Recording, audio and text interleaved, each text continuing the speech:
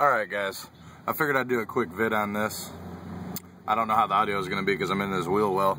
But I'm on, I'm on my 97 Blazer. Whoop, whoop, whoop, whoop. Yeah, I got a 97 Blazer 4.3 freeze plug. Uh, started leaking. So there it is, way back in there. Let's see if I can get the camera down in there. Oh, maybe not. You can see it right there, plain as day. That sucker was frozen. Now this thing's got almost 300,000 miles on it, right?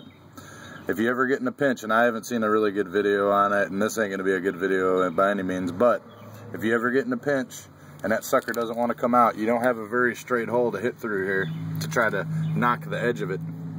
You just go ahead and uh, just use a little old propane torch like this here.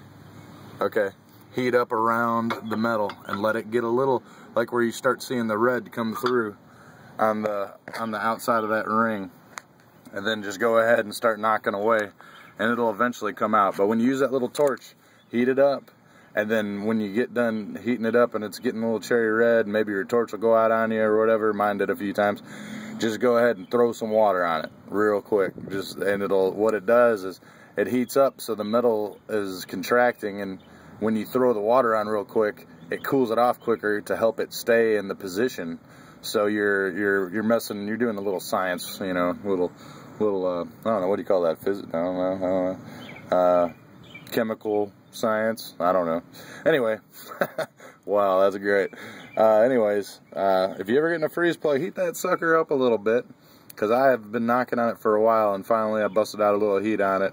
And I'm already, let's see here. I'm already coming out with it. And I don't have many tools at the house, like I said in my last video, but Let's see if I can get it out on camera here. I don't know if I can or not. It's gonna be a pain. It's already hard enough to get my hand in there, but see if I can do it on camera. Nah, I probably won't be able to do it on camera because I'm a loser. But if you work it around,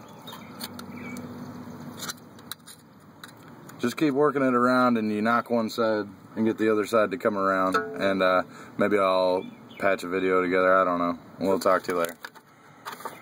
Take it easy, guys. Peace out.